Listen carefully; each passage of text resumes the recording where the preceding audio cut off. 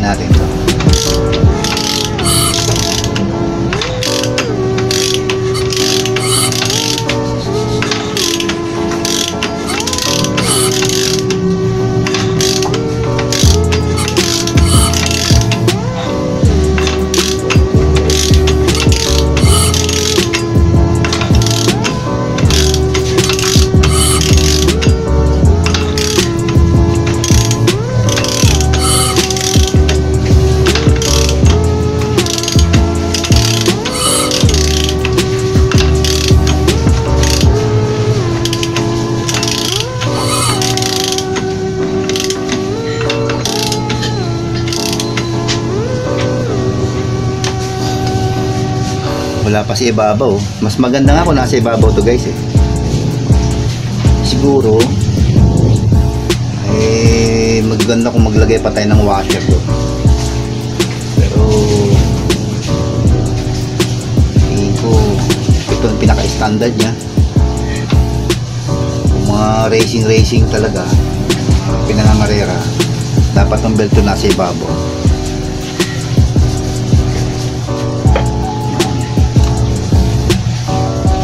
Layo oh. More na nasa taas tong belt si taas dito pag nasa ibabaw mas malakas ang arangkada nun.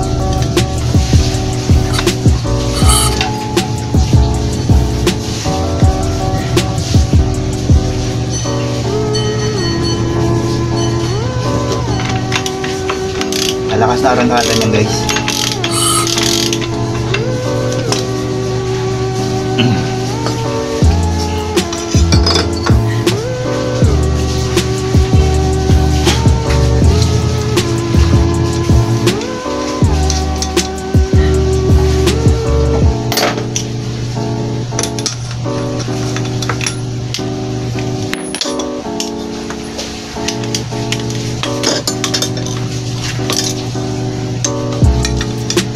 mga bagong magmekaniko tsaka para matutunan nyo yung pagbaklas ng gulong na mas madali.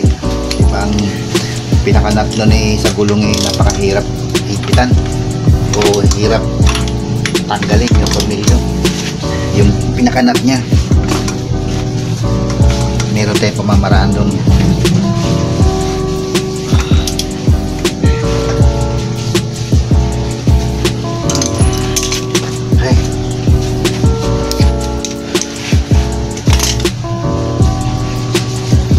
So yun.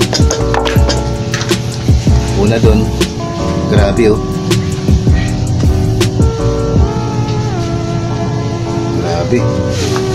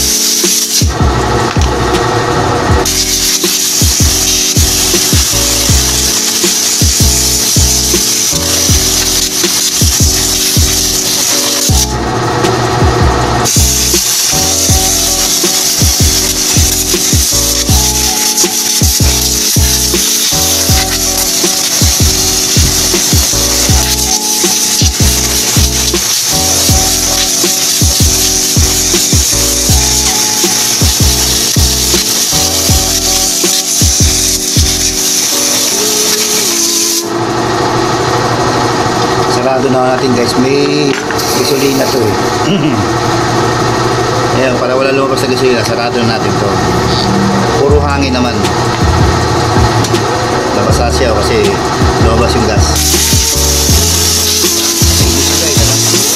Pero papapalitan natin sa may-ari itong filter na to. Siyempre, ah, sa ngayon, kakabit ko muna para magamit niya. Everyday naman siya na bumibiyahe siya ng Caloocan para doon sa work niya. Madadaanan niya yung mga spare parts doon na bilihan ng pyesa na Yamaha.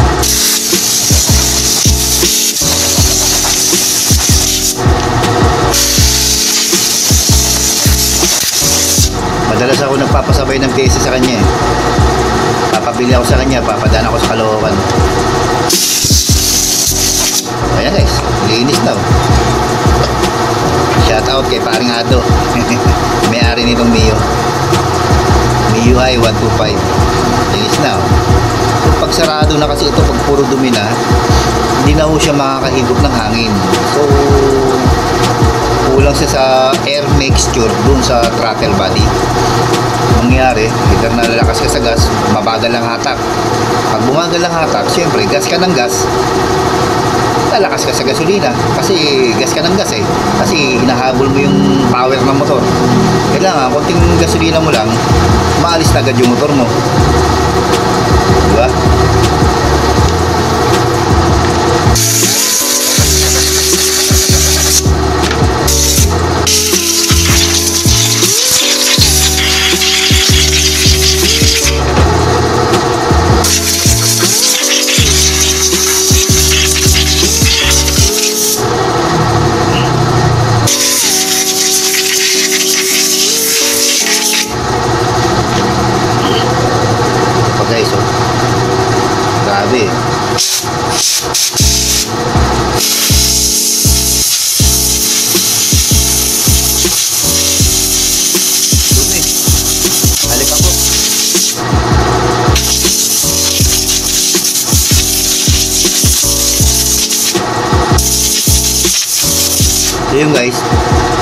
pwede naman ito labahan eh. Para kung wala man kayong ganito, basahin nyo na lang to, pwede.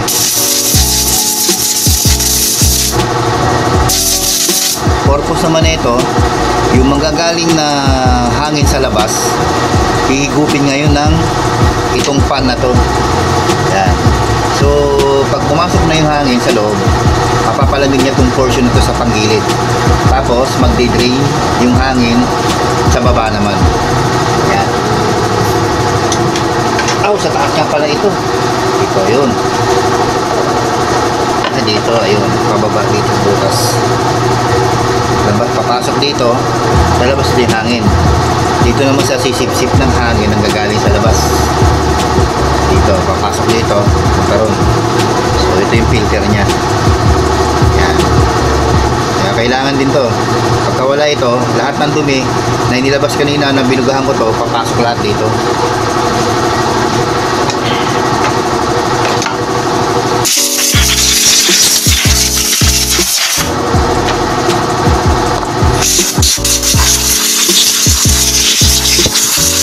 Paring ato, ang dumi ng motor sa loob.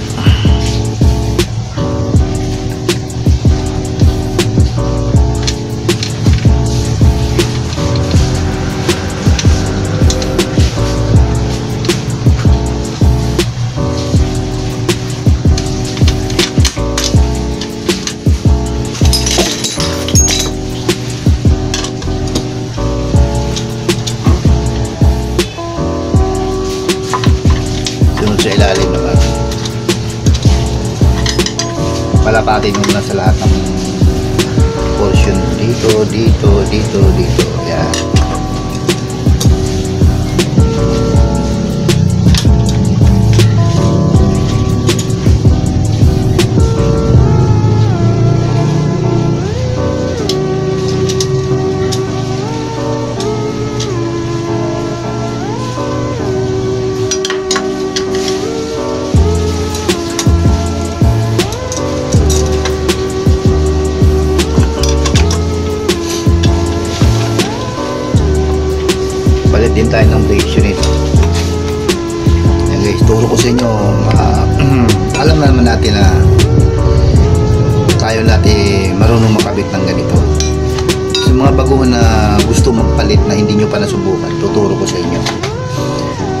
no, sa gani adjustment. Haba na. Kaya gusto na magpalit ng may-ari.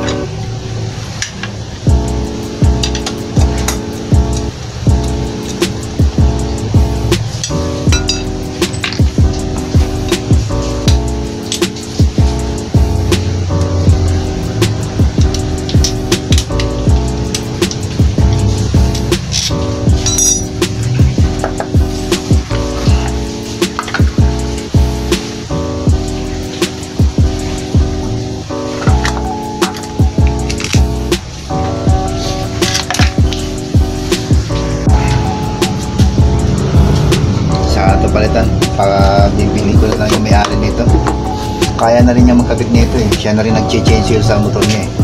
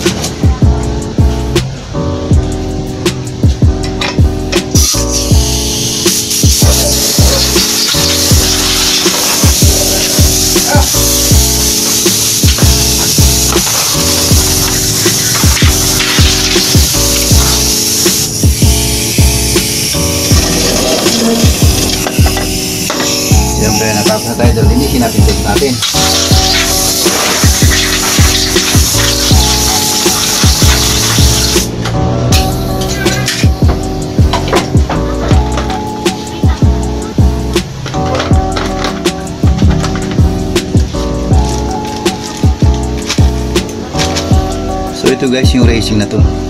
Yung racing na to hindi ah, sa, sa clutch. Hindi ko na kinabit. Para konting gas lang tatakbo na agad siya. So medyo matipid siya sa gas.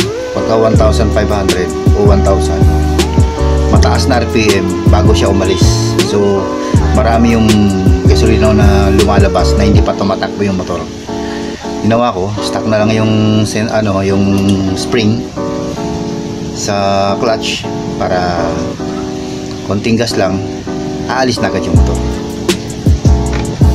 Tatakbo na agad.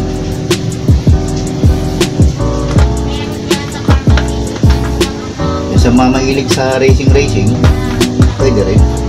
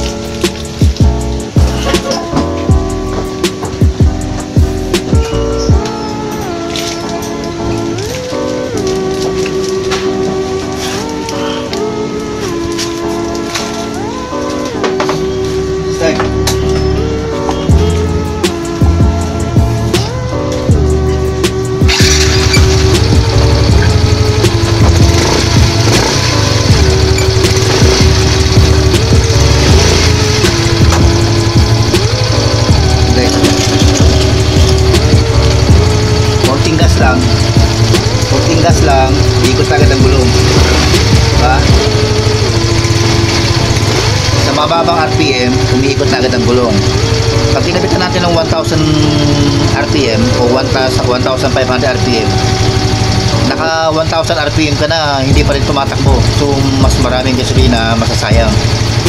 Kailangan konting takbo lang, kung pang city drive lang, service-service lang, center spin lang siya, center spin lang, papalitan natin, dito.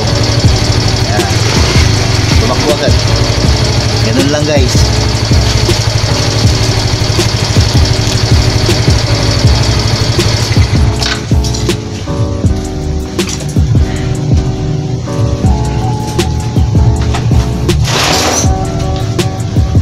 Po eh, magpapalit tayo ng brake shoe.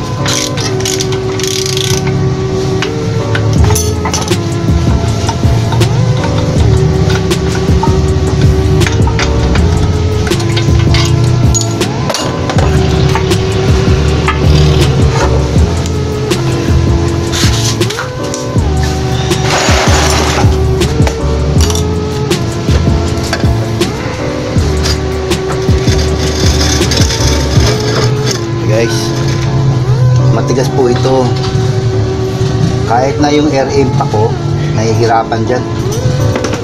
So gagamit ko tayo ng ganito. Yung iba naman kaya pang tanggalin.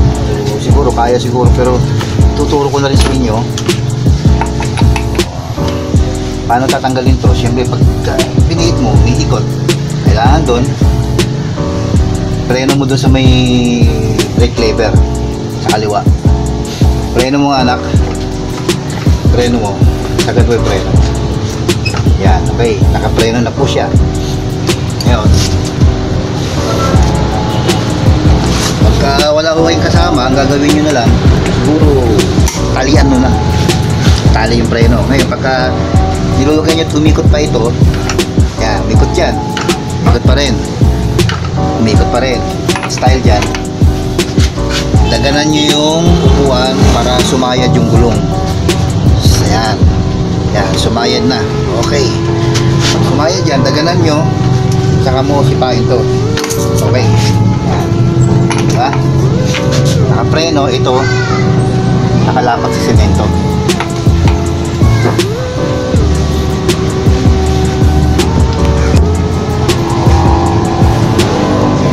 Yung nakalapat sa semento, daganan daganan tong ibabaw sa upuan o sa sa grill. Okay na. Bitawan mo na yung preno anak. Diba? Walang hirap-hirap. Manghiram na lang kayo pag wala kayong tools na ganyan. Manghiram na lang kayo sa ating bahay.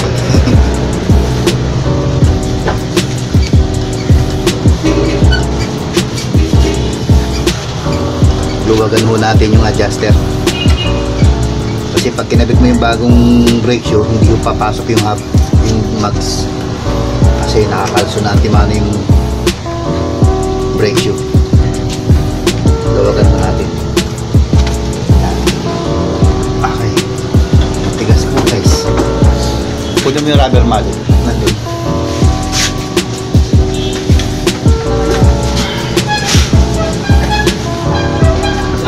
Okay, tanggal na.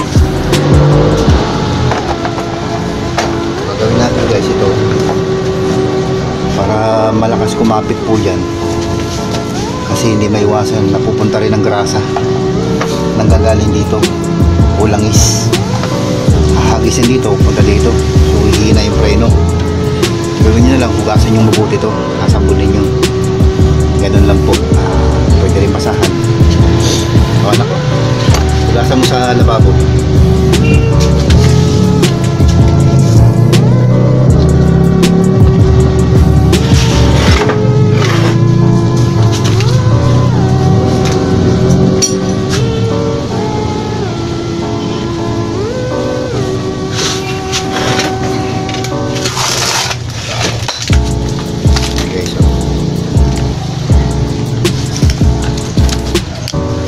Yung nabili niya.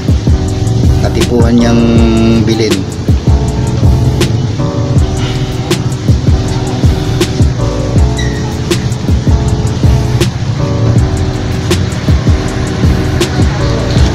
kita ba guys yan? Try natin to. Pag malakas pumagat masakit pag nangagat. Try natin to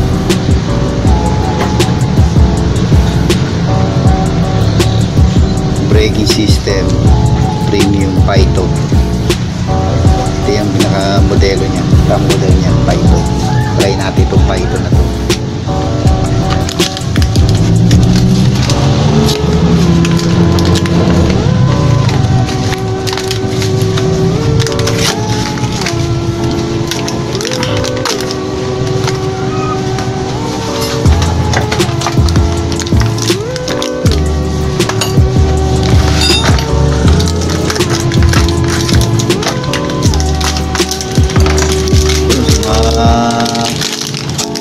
bagong magano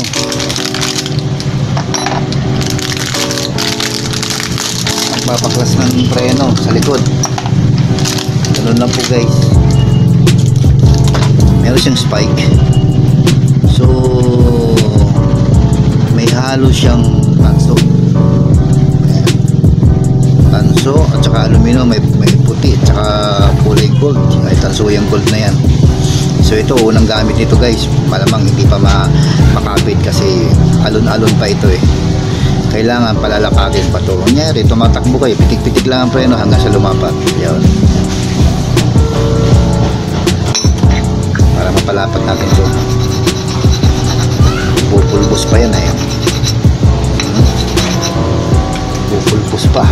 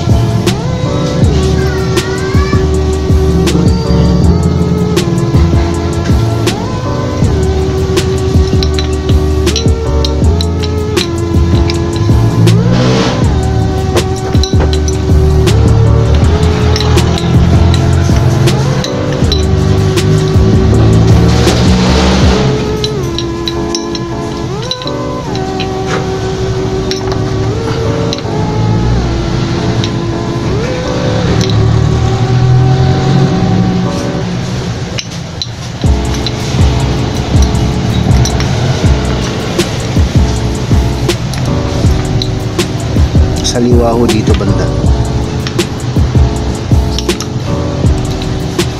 Iyan.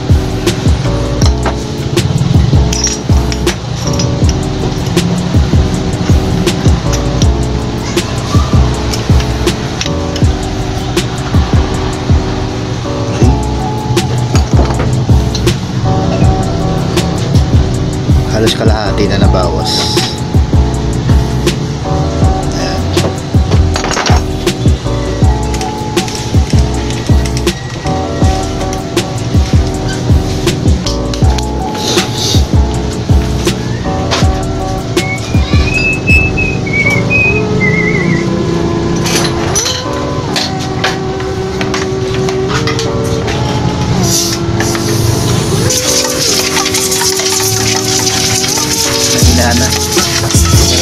Pero nakakatandal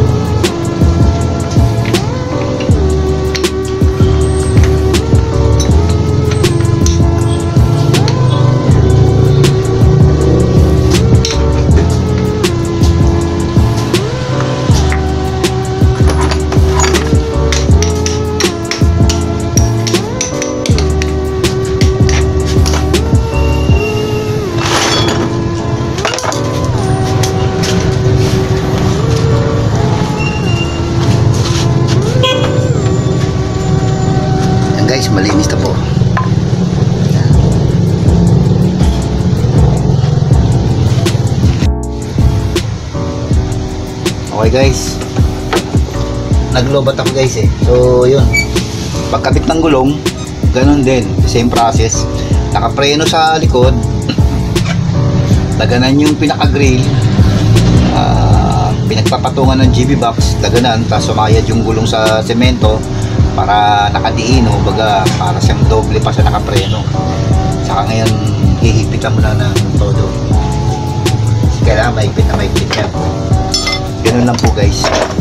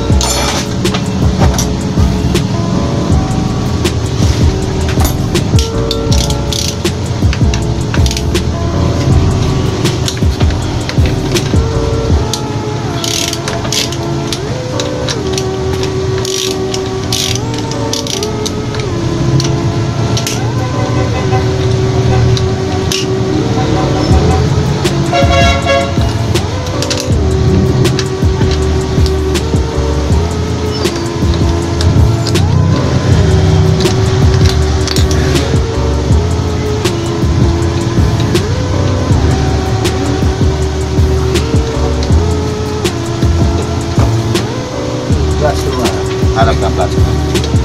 Ito na.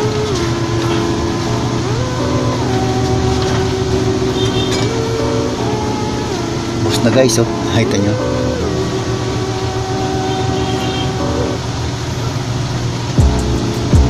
Ayun, bus na. Kaya obligado tayo magpalit.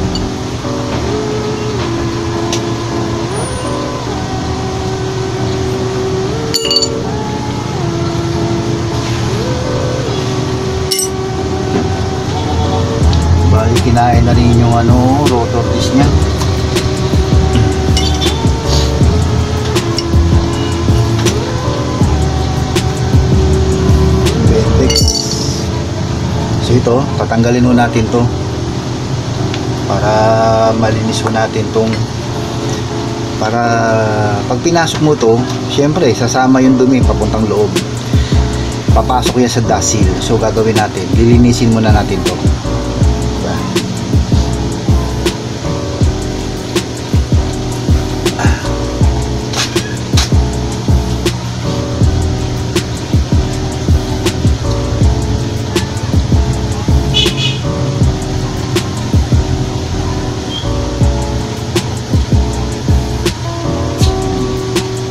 Baka yung timbras na pino nga lang. Kung nagyang pinong nila.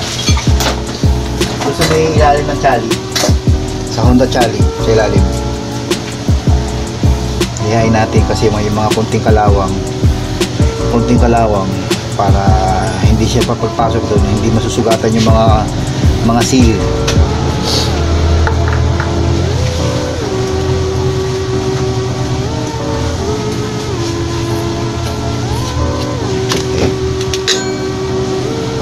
Natin ng bagya.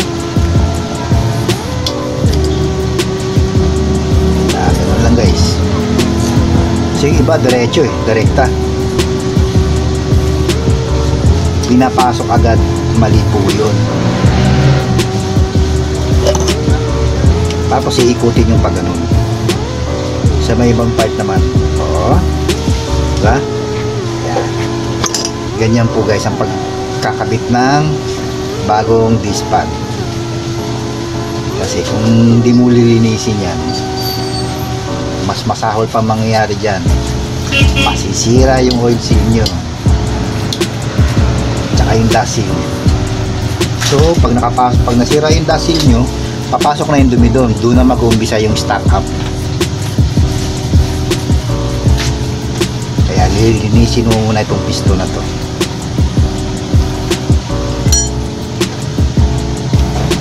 Siyempre, kung pare ko may-ari nito, kailangan mali, maganda pagkagawa. Joke lang yun guys. Kahit hindi kung pare ko, inaayos kong pagtrabaho. May konting kalawang eh. So, lihain bagyo. Pino lang. 1,000.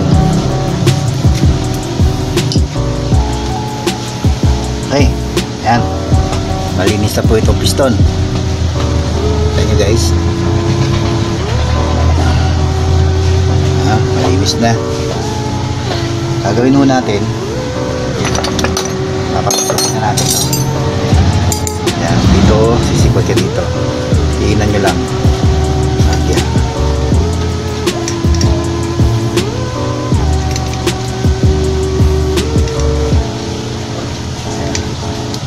kabila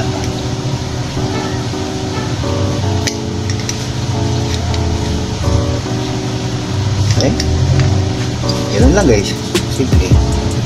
Sikwatin maganon kabila magkabila. Okay. So ito may grasa pa naman oh. Pag wala ng grasa syempre lalagyan mo na rin. May lubrication pa naman siya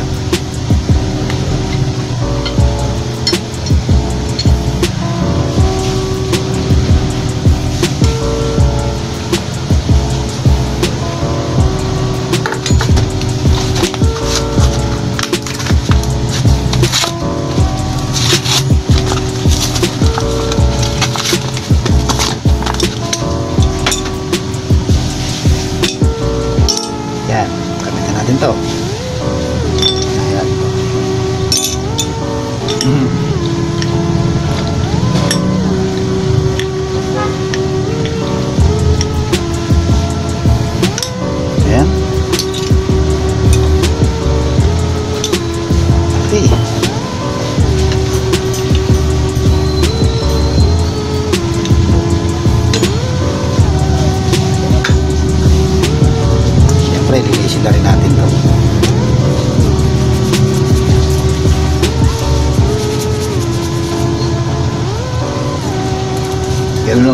Kailangan malinis yung piston bago ipasok doon sa loob.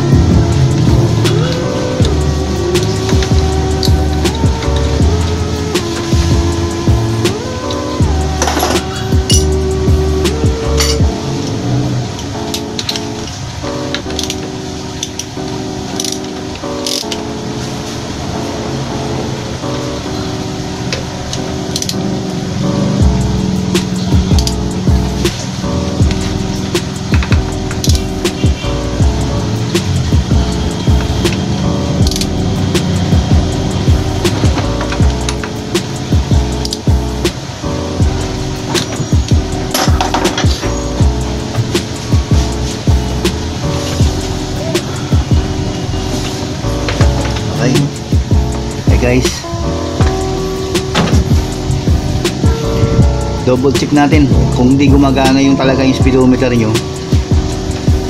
Yan. Buo naman to, di ba? So, para malaman yung buo, saksak nyo to. Yan. Dagalan mo likod.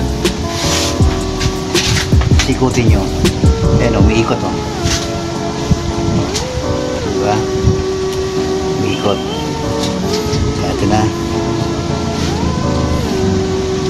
May electrical tape pa nakita na. Electrical tape. Para makita.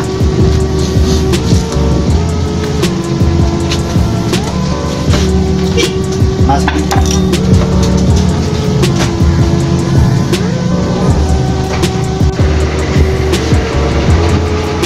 Gumawa ako ng palatandaan ako talagang umikot. Talaga ng mga likod. Buo tong kable, wala namang putol ano. So, magsususpecha ka, baka itong sira. Ngayon, para malaman mo kung sira to buo, saksak mo to, hugutin mo lang tong outer, outer tube. Hawakan mo ngayon to, tapos paikutin mo. Yan. Uy, umiikot eh. Tapos awatin mo ng konti, kunyari may load, awatin mo konti ito. Kasi minsan, pagka hindi mo hinawakan, wala siyang load, iikot yan. Pero pag may load, hindi na siya iikot kasi mayroon siyang problema doon sa loob. Kailangan hawakan mo siyang bahagya. Kunyari may load, oh, may ikot. Madalit sabi ito. Madalit sabi ito. Ah, marami na akong na-encounter na ganito ilang beses na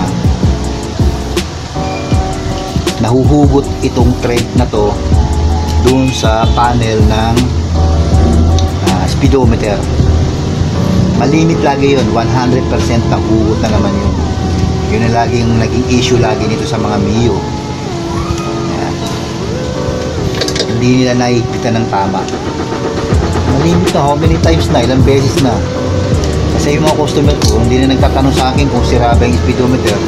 Totally, bumibili na agad sila ng speedometer. Yun. Okay.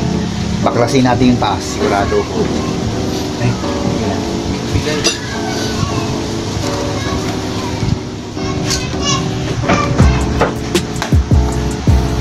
Malamang to guys, nahugot to guys.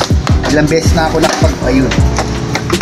Ilang beses na ako nakapagbaklas ng ganito na nahuhugot yung speedometer.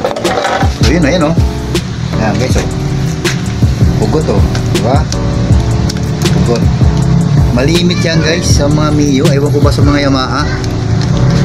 Hindi kinakabit ng tama. Maayos sa higpit na mahigpit. Baka higpit kamay lang ginawa nila. Dapat i-gamitan ng plies hindi kaya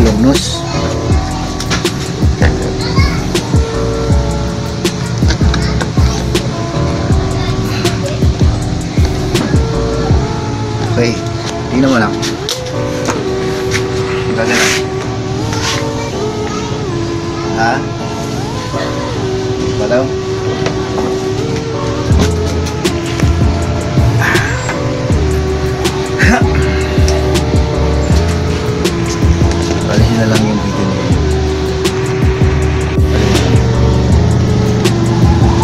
Okay guys, nakabit ko na ho yung ano, speedometer dito sa sa pinaka panel board niya.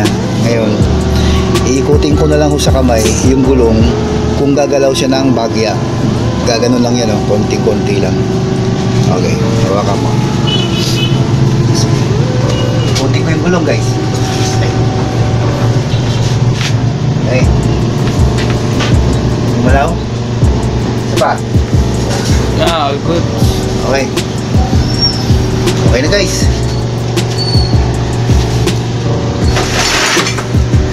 Salamat guys ha. Sa panonood nyo. Thank you.